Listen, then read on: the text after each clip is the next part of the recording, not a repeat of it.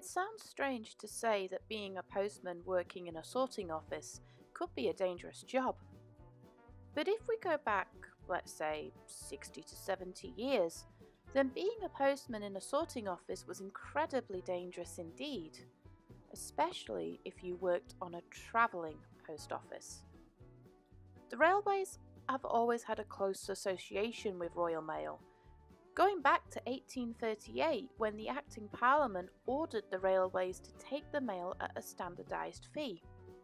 The separate railway companies at the time were under orders that the Royal Mail could specify the size of the train required for their specific needs.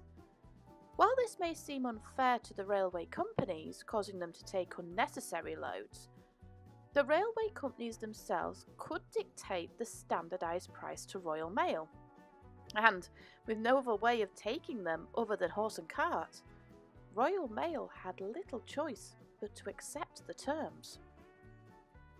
Following this act, the railway companies heavily invested in services to help with the post.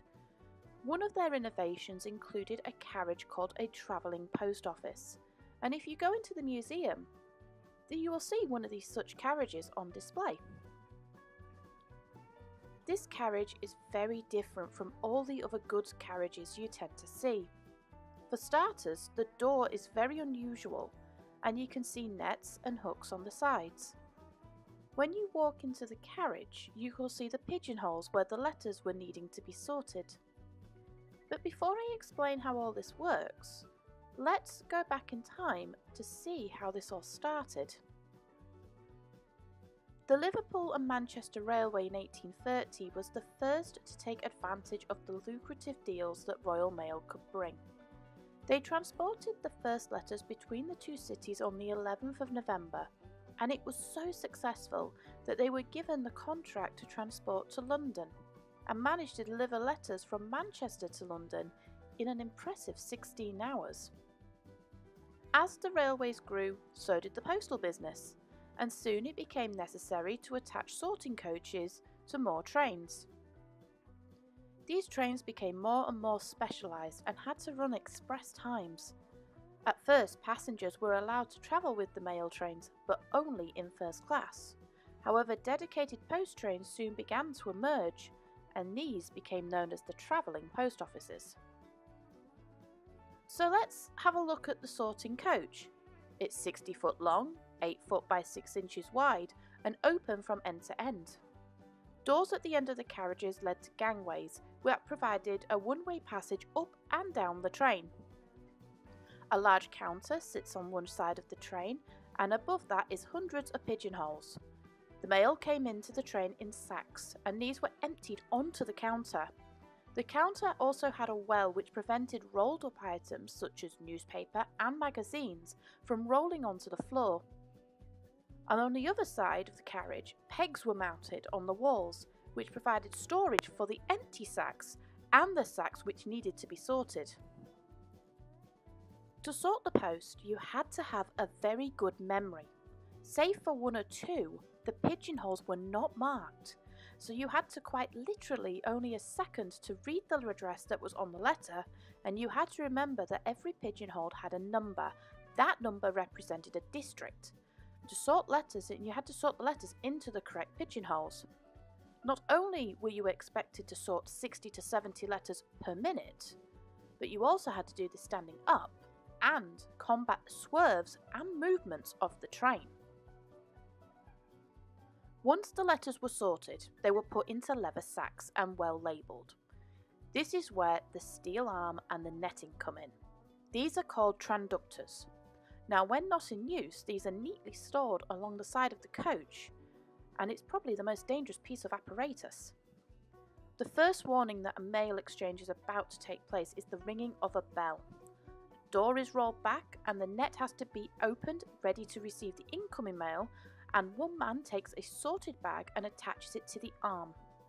The exchange happens in a split second and is extremely loud. On the track side, another static traductor catches the sorted mail in its lower net, while the train collects the unsorted mail in its upper net and forces it into the carriage. This might sound a simple exchange, but when you consider that the train is moving at considerable speeds and the leather bags can weigh upwards of 20 pounds each, it can easily knock an unsuspecting postmaster off guard and off his feet. The traductor arm, once relieved of its load, also flies back and has been known to cause severe injury to anyone who is near the door. Despite this, however, the travelling post office was very popular and a very lucrative source of income for the railways and its working occupants. This type of rail exchange was used right up until 1971, when it was considered too dangerous as trains got faster. But travelling post offices still continued. However, due to the decline in letters following an increase in internet and emails, and the flexibility of the roads and the costs, travelling post offices and the service was eventually discontinued in 2004. The post is still continued to be taken by rail, but these tend to be in sealed carriages with no, po- with no staff post on board. Not many people know that Royal Mail actually own a train line themselves, and the chances are you've never seen it. The line was created in 1913 and runs underground from Paddington to Whitechapel. This is the narrow gauge London Post Office Railway. It has six and a half miles of track, eight stations, and a major sorting office deep beneath the bowels of London and ran from 1927 to 2003.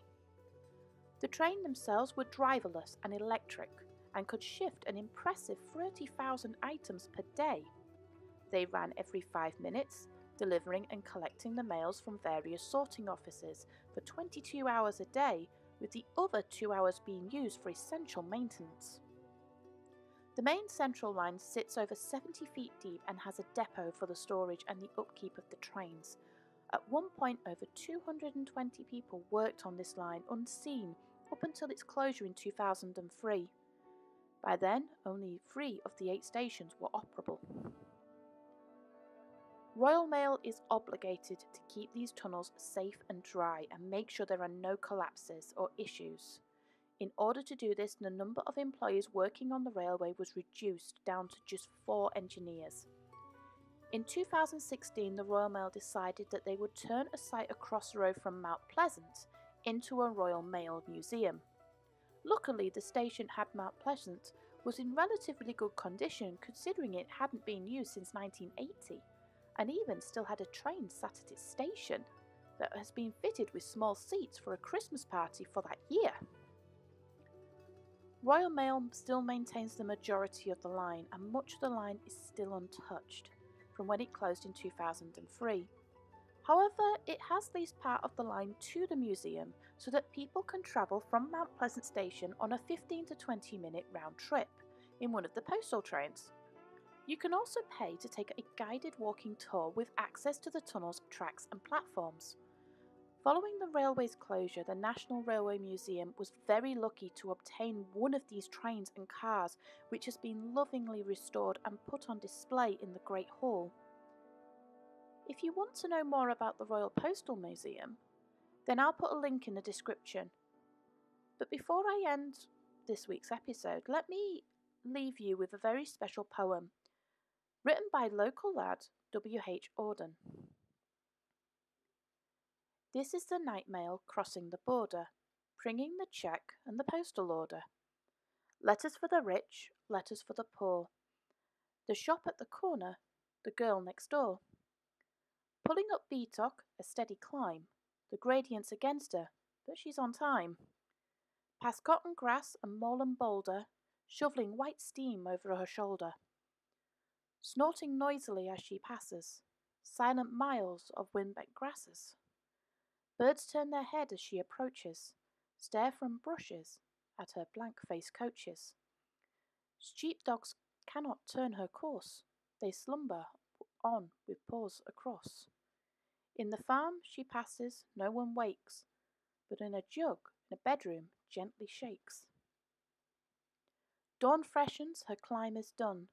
Down towards Glasgow she descends, towards the steam tugs yelping down a glade of cranes, towards the fields of apparatus, the furnaces set on the dark plain like gigantic chessmen, all Scotland waits for her. In the dark glens beside pale green lochs, men long for news. Letters of thanks, letters from banks, letters of joy from girl and boy, receipted bills and invitations to inspect new stock or visit relations, applications for situations, amid lovers' declarations, and gossip, gossip from all the nations. News circumstantial, news financial, news with holiday snaps to enlarge in, news with faces, faces scrawled in the margin. Letters from uncles, cousins, and aunts, letters from Scotland, from the south of France, letters of condolence to the highlands and lowlands, written on paper of every hue. The pink, the violet, the white, the blue, the chatty, the catty, the boring, the adoring, the cold, the official, the hearts, out, the hearts outpouring, Clever, stupid, short and long, all typed and printed, and all spelt wrong.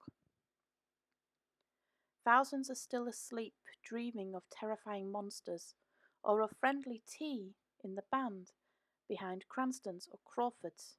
Asleep in the working Glasgow, sleep in well set Edinburgh, asleep in granite Aberdeen, they continue their dreams.